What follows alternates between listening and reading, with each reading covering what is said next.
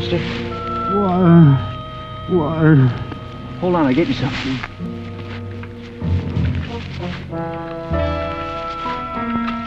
Come on. Come on. You're all right. Oh. Never trust a stranger, Rebel. Write that down.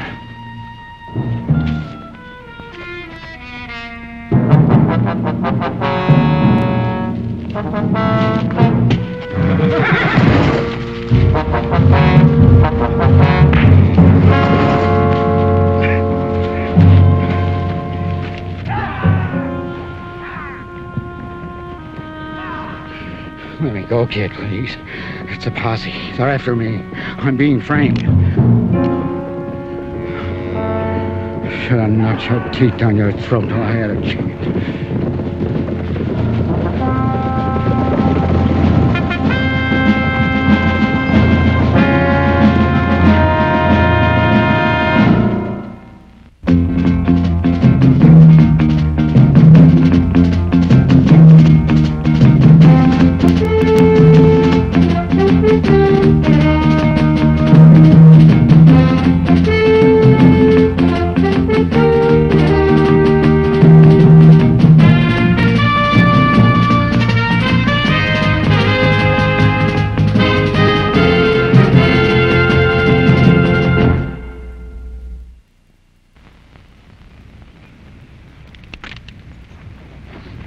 You bunch of jackals! Jailbreak hasn't helped your cause any, Will. Just so I know where to find you when I get out. Get him behind bars, Claude. Let's go, Bluebelly. Much obliged to you for catching this traitor. Don't thank me. I don't care how many jails he breaks out of. Just so's he don't borrow my horse. Hold it, Claude. You say this man tried to steal your horse, son? That's what I said. I'll leave him alone, son. Don't sink to his level. Let's go, Blue Belly. You itching for a fight? I'll give you one. Oh, no rough stuff. He's handcuffed. Be fair. He's a desperate man, son. No one invited you to turn my other cheek. You ready, Judge? You go ahead, Claude. I'll ride in with this young fella. Ah! What's your name, son? Yuma. Johnny Yuma. Johnny Yuma. Come on in, Johnny. Second best room in the house. Of course, I've got the best. I've been using my saddle for a pillow so long, I... I don't know if I can take all this. Well, easiest thing in the world to adjust to is comfort, I always say. ah, all right, eh? You know, I wanted to be one once, but uh, it was a long time ago. Yeah, I guess the woods are full of them. You uh, staying in town long, Johnny? So far, I've never stayed any place long. Yeah, I guess the war left a lot of restlessness in its wake. Young fellas like you just rushing from nowhere to no place. Strange times. But I'm glad you're staying long enough to give testimony against our number one bad boy. You mean that horse thief? It'll be a pleasure. Man is innocent until he's proven guilty, son. I can sure tell it wasn't your jaw. Well, now, you're the guest of the town, Johnny. Make the most of it. Cafe downstairs, everything on the house. Oh, and, uh, see, stick around a couple of days after the trial. Get to know us. How soon you figure the trial will be? Oh, in about an hour. An hour. How's he going to be ready for that? I mean, doesn't he need time to get a lawyer or prepare a defense or anything? this town is just a dot on the map, Johnny. You know, we're lucky we got a judge in the courthouse. But you've got a sense of fair play, and uh, I like that. See, this man's going to have a jury trial, and in spite of the town's feeling towards him, I'll be there to see they do right by him. Say, I'd better save my speeches for the courtroom, you know. I'm getting to be a regular old windbag.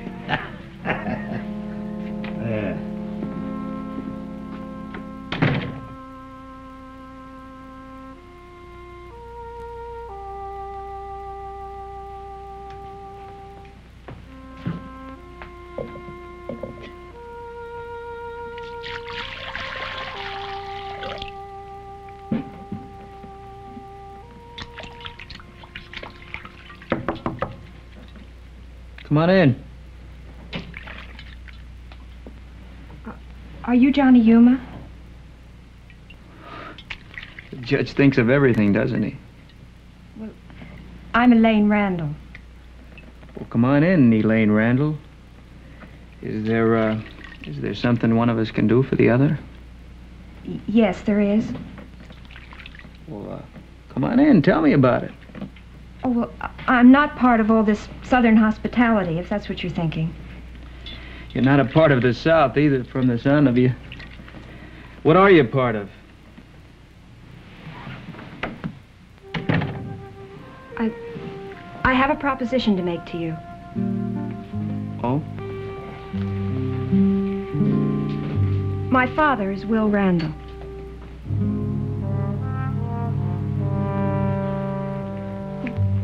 Before you turn a man over to a mob, the least you could do would be find out what his name is. I'm sorry. Uh, would you sit down? Spare me the gentleman performance, please. I really couldn't stand it.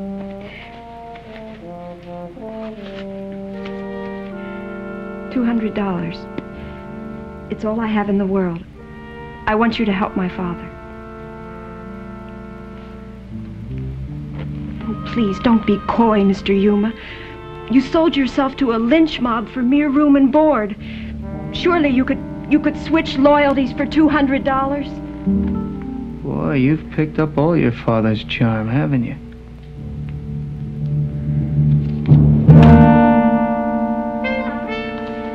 You better walk away. Oh, I, oh, I'm I'm terribly sorry. I I thought you were like all the others. Mr. Yuma, my father's being framed. They they hate him because he fought with the North and and because he despises this town and everything that it stands for. They've stolen his land and and now they want to kill him. Oh, you've got to help him, Mr. Yuma, please. He's innocent.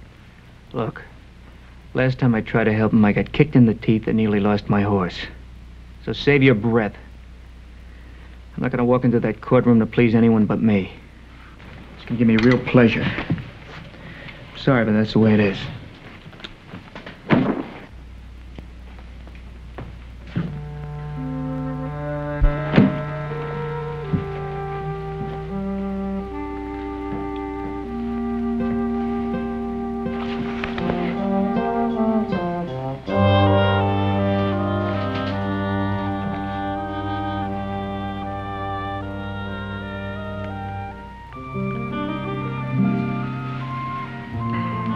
Bribing me again.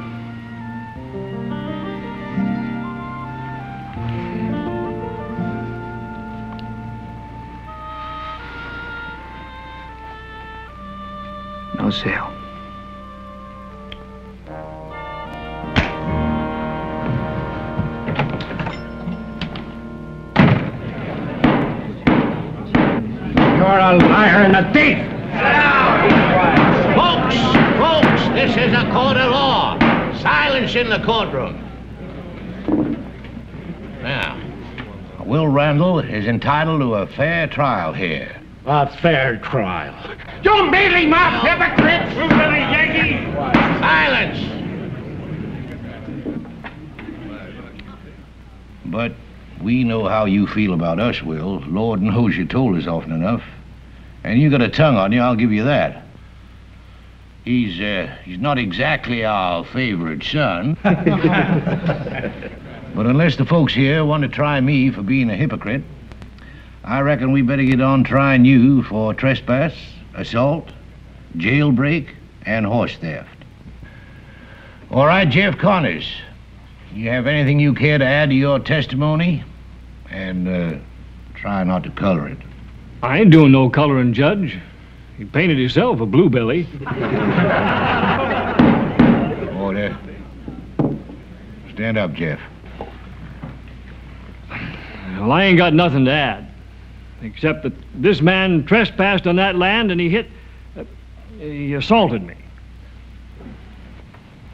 Thank you, Jeff.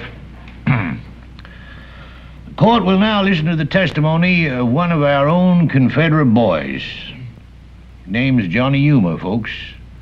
He has honesty and courage. His traditions are ours. His beliefs are the same. Matter of fact, he might have been one of our own sons. Johnny, tell the court what you saw this morning. Let him have it, kid. I should have killed you while I had the chance, you spineless rebel scum! Well, let the man speak. He tried to steal my horse. Thank you, Johnny. Well, folks, that completes the testimony. The court will now address the jury. Tell the jury how you robbed me of my land, how you forged my dead wife's name, while I was helpless in the northern highlands. And when I nailed you on it, how you destroyed the evidence. Get him out. Get him out of here. He stole my land. He's railroading me to shut me up. He gives speeches about your glorious traditions.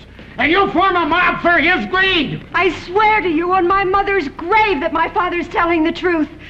Why, it had to be forgery. My mother could neither read nor write. There are no papers.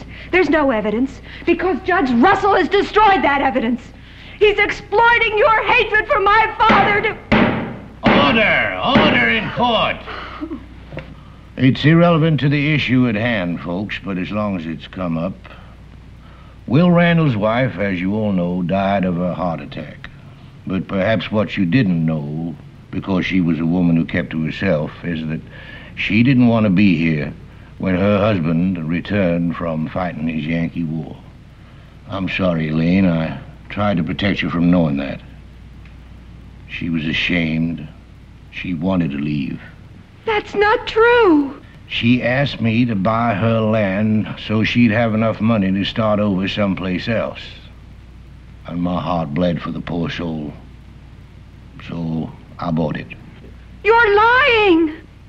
Would any one of you in this courtroom have put up ten dollars for that worthless two acres of land on the outskirts of town?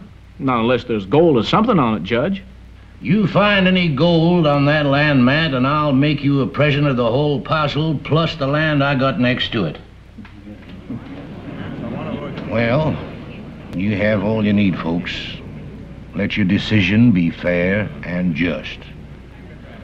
Although Will Randall is a man whose own wife turned from him in shame and disgrace, and although he made a mockery of his heritage and our struggles for life and dignity, we have given him his day in court. I'll let the decent, law abiding citizens of this town give me their answer. What is the jury's decision?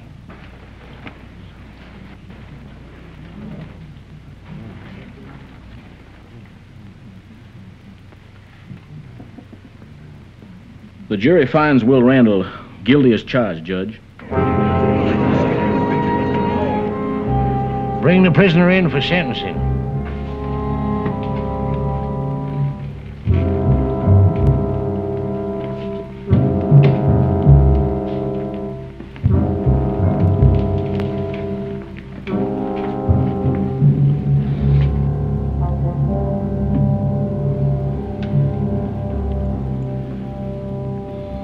Will Randall, this court sentences you to death by hanging. And may the Lord have mercy on your soul. Execution to be carried out 10 o'clock tomorrow morning. Court dismissed. It's all right, honey.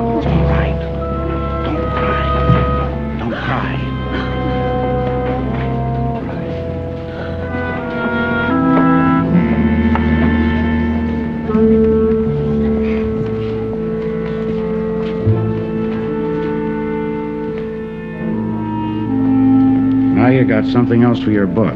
A story about justice. An eye for an eye and a man for a horse. I'm sorry. I. I didn't know. I never imagined it would go this far. They reached a verdict before the trial ever started. What do you think they've been doing out there?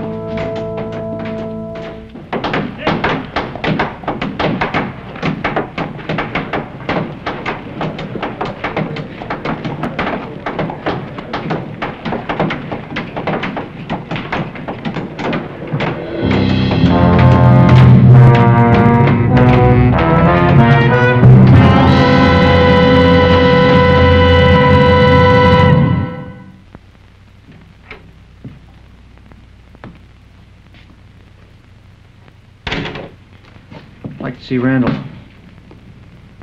All right.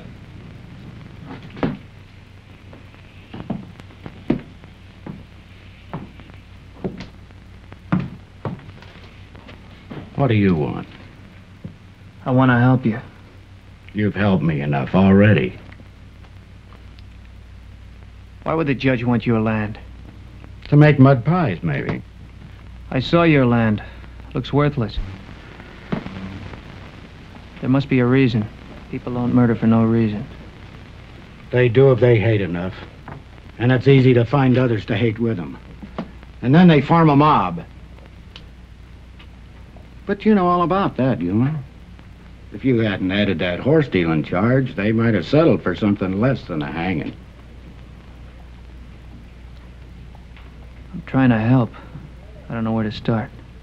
You really got troubles, don't you?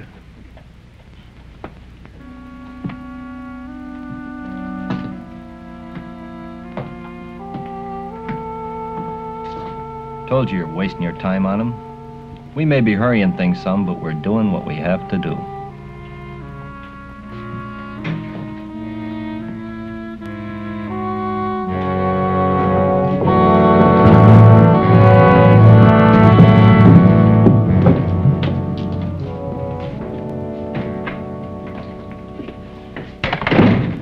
I want to check in some land transfers. See Jeff Connors.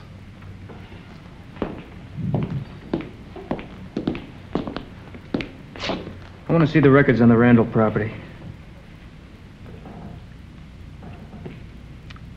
You're not trying to stir up trouble, are you, Sonny? Look, I want the legal description of that land. You'll have to ride to Ridgeville for that. You might not make it back in time for the hanging.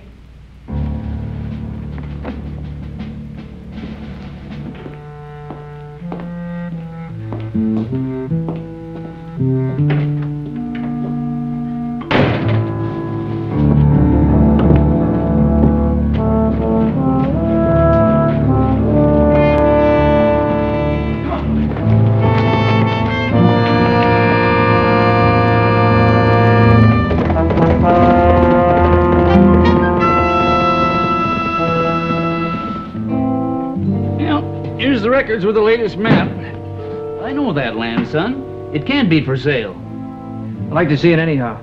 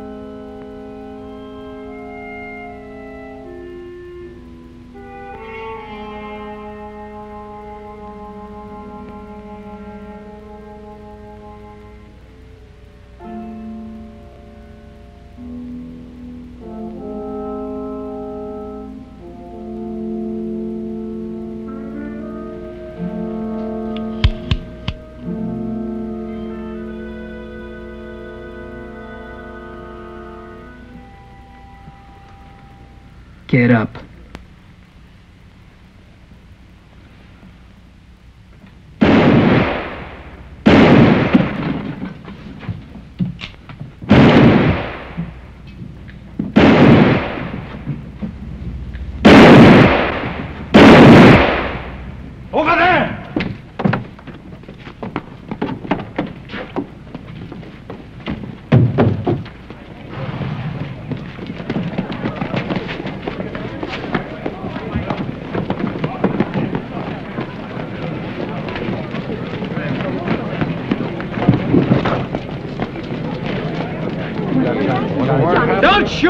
draw the trapdoor and hang him.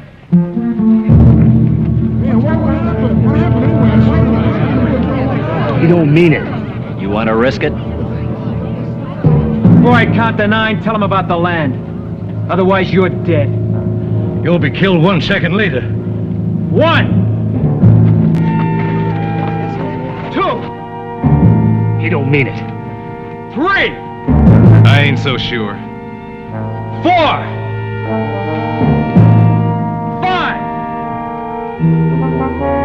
Six! He's bluffing! Seven! Th- th- there's gold on the land. Eight! Hold it! Hold it! You better hurry, Judge. My nerves are jumping. I stole the land. Don't be shy. Everybody wants to hear your speech. You make real good ones. Tell them. You're bluffing. Try me. I stole the land. I forged Mrs. Randall's signature. Jeff Connors was in it with me. Tell him why you wanted the land. The government wanted to buy it. To build a military post. That enough for you, Sheriff? That's enough. You pulled a good bluff.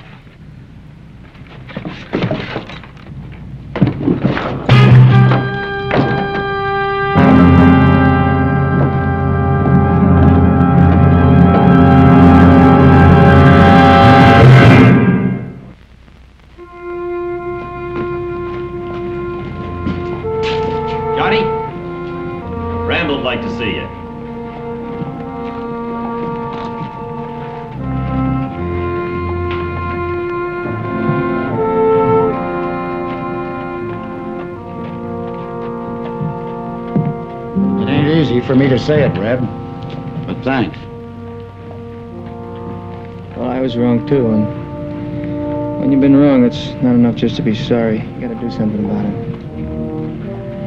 You can stay here and move on. I think maybe we found us a place. We're gonna stay. Maybe I'll find a place myself one day. Why'd you do it, Johnny? Why'd you stick your neck out? Man for a horse, it just doesn't figure. Maybe I'll see you around, huh?